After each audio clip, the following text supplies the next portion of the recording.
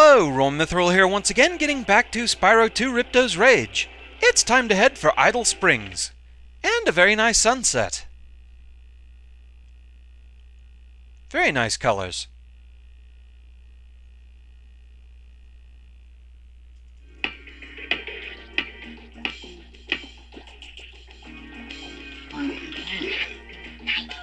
The tikis are coming to life.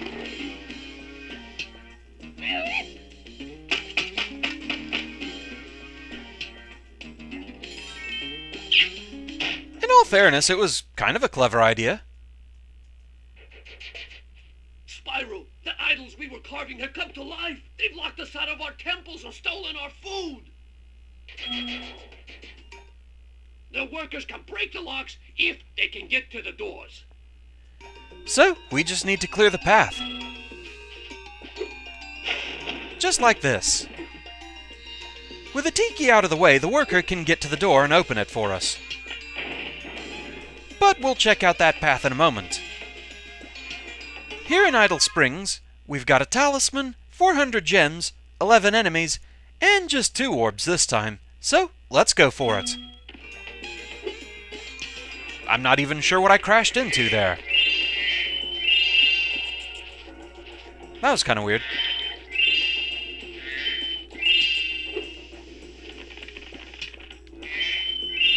So we'll just clear out the entrance first.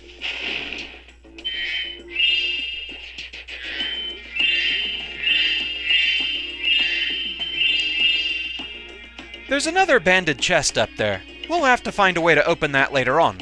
For now, though, this is why we needed to know how to swim.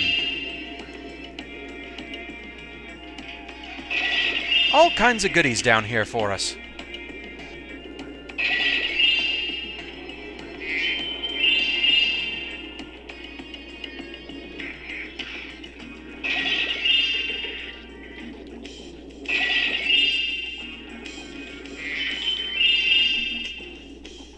There's also this opening down here.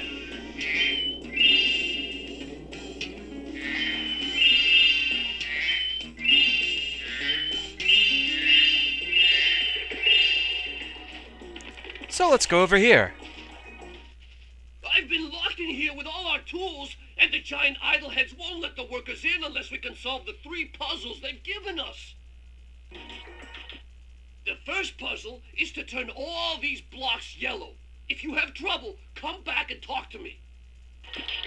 So, we have to solve three giant idol puzzles. The first puzzle is to turn all blocks yellow. Ask Foreman Bud for help. The first puzzle is pretty simple. It's one of those where once you activate a tile, both the adjacent tiles will change their state. So pretty simple here. We just need to activate the four corners.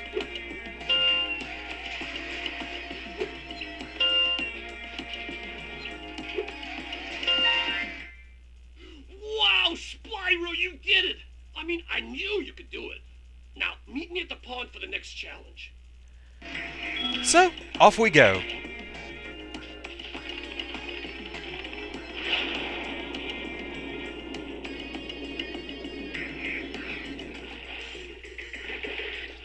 Kinda overshot the landing there. This idol says he's hungry and won't be satisfied until he's swallowed ten fish. He's got a sensitive stomach, so watch what kind of fish you feed him. So, flamefish to feed the idol. The idol is very picky. Actually, not too picky, just don't give him redfish. Any other color is fine. Any size is fine. If you feed him a redfish, though, that happens.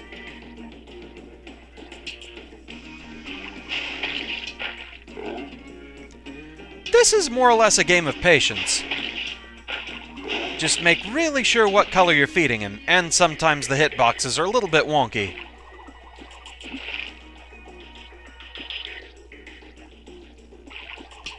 And sometimes that happens. Are you sure you don't want redfish? We've got plenty of redfish.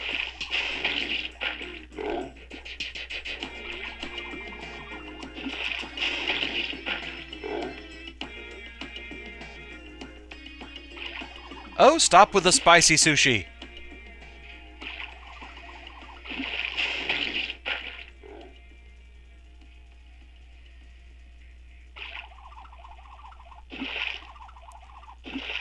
The main danger here is just losing your patience.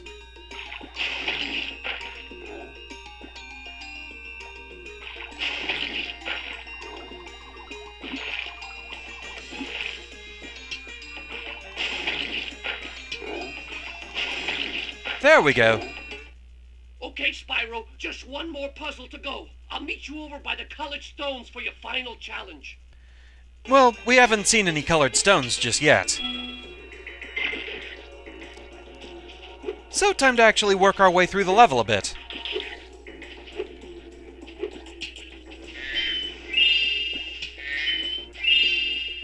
We now have shielded enemies.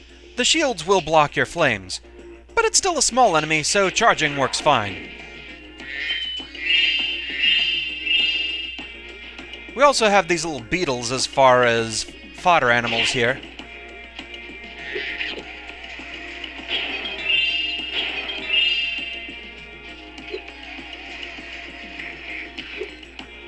Go ahead and get the path opened up.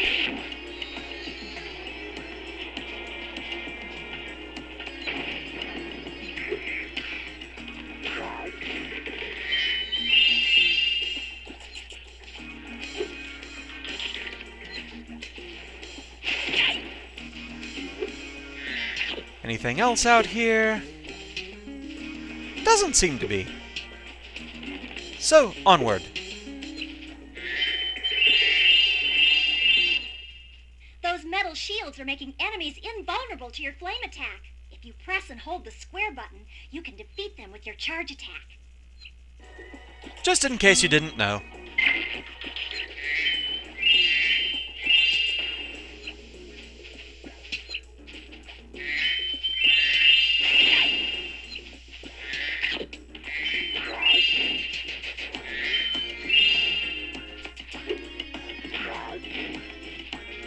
Go ahead and get you out of the way. And your turn.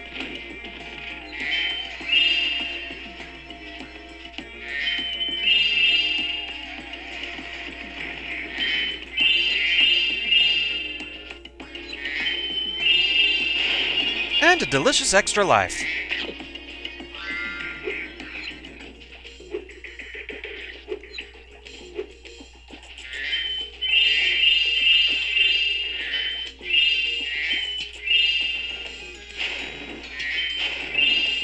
Oh, come back here.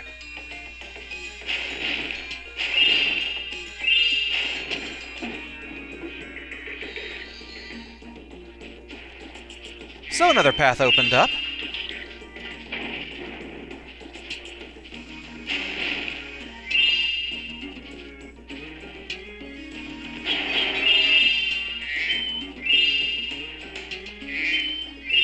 Just to make sure.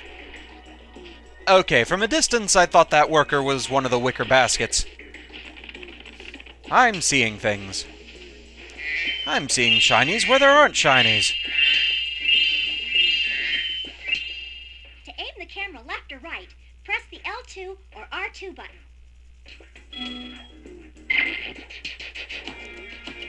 Strange thing is, the L1 and R1 buttons work as well, so it's not just L2 and R2. Basically, any of the shoulder buttons.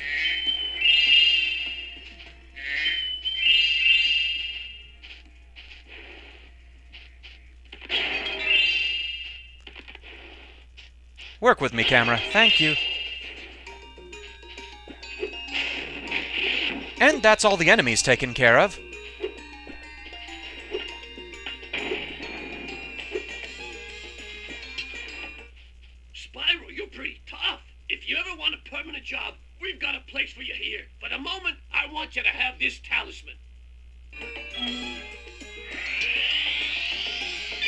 So, there's our talisman for the stage. Of course, we're not done yet. Basically, anything you want to do here is going to involve a little bit of backtracking.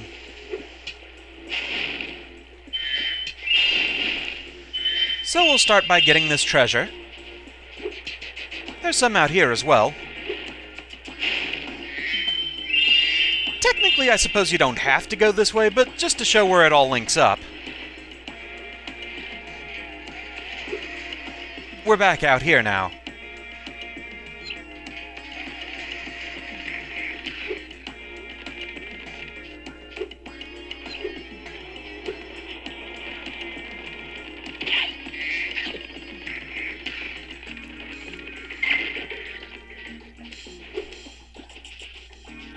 Let's see, anything left behind out here?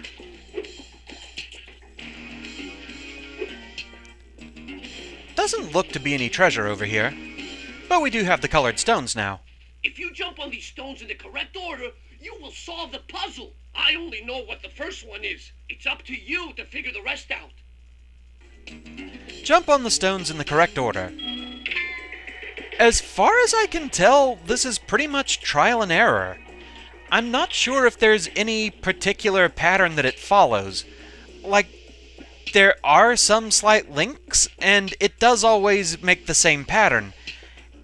Just proof of concept, if you hit the wrong one, If you jump on these stones in the correct order, you will solve the puzzle. it just resets. So now here's where I want to say this has a pattern. You go from the blue star to the blue triangle. From the blue triangle to the white triangle. From the crescent shape to the other crescent shape. From the orange button to the other orange button. And from the circular button to the other circular one.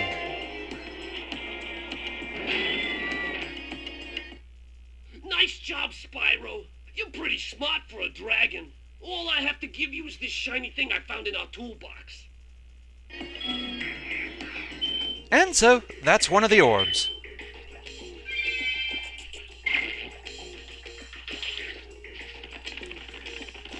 But it did take us all the way back here, so back we go.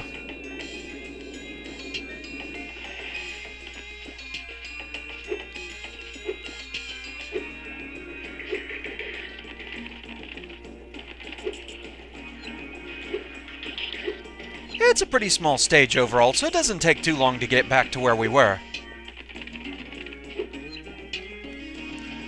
Unless he just gets pinned on the side of a stair like that.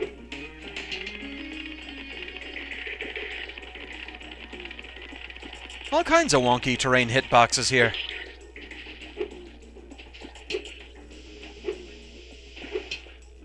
Now we need to go this way.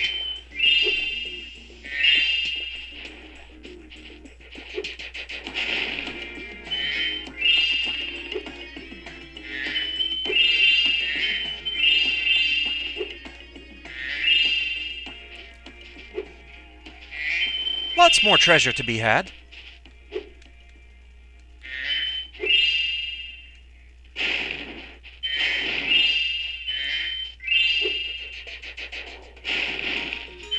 Something going on over there. But we'll check that out in a moment. We want a very particular vantage point for this. Because it's time to get another skill point.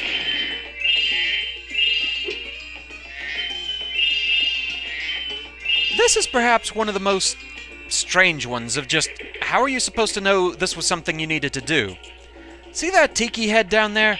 You need to glide to the top of it.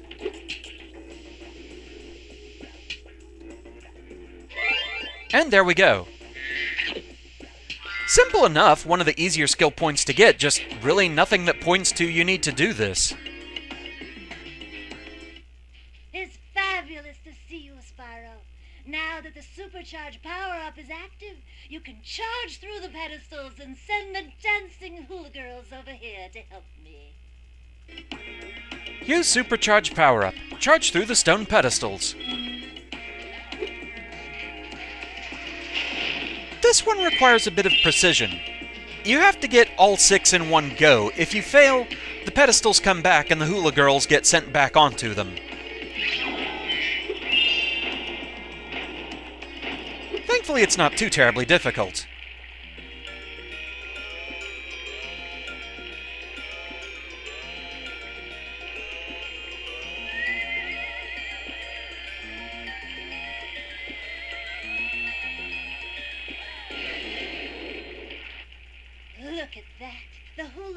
Rain dance blew up that idol like a Roman candle. Now I can pursue that dancing career I've dreamed of.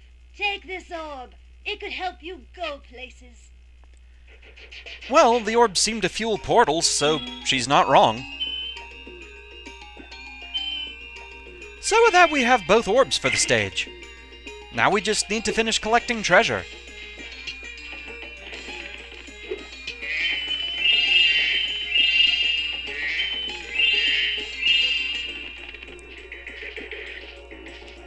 Seems to be everything that's down here. Any of you have anything else to say? Don't seem to.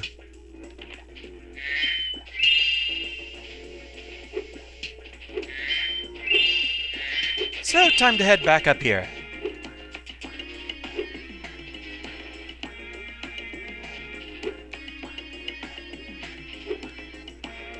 There was another way we could have gone up here, we needed to take care of the hula dancers.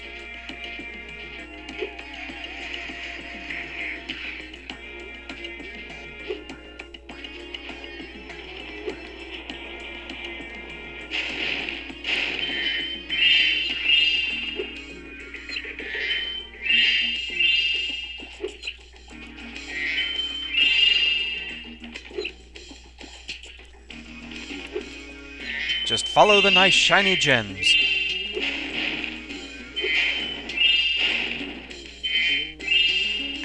We have a firework.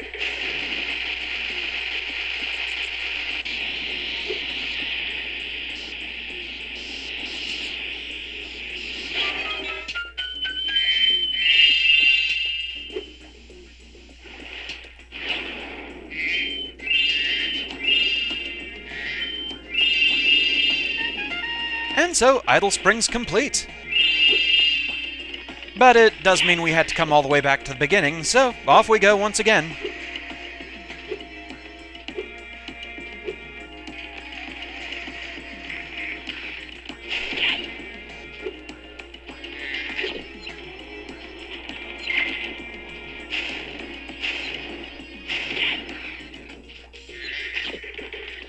Just want to see if they give me a one-up at any point here.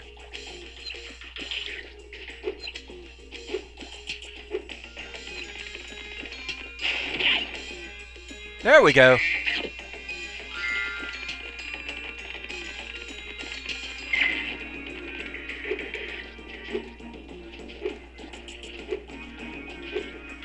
And so, that's that.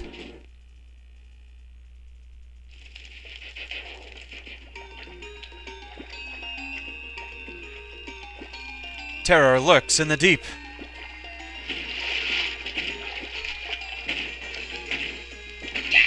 And he wants a cookout. So it seems like everyone's getting along now.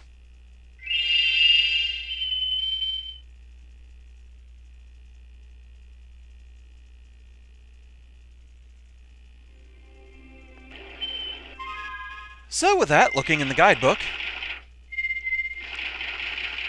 we got the Jade Idol and 400 more gems, two more orbs, and they're not going to tell us but another skill point. But with that, we've taken care of all the portals out here. So back into the castle with us.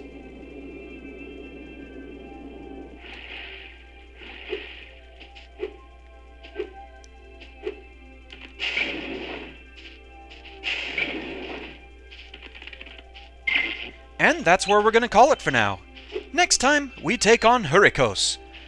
Until then, thank you very much for watching, I hope you're enjoying the series so far, and I shall see you again next time. Until then, fare thee well.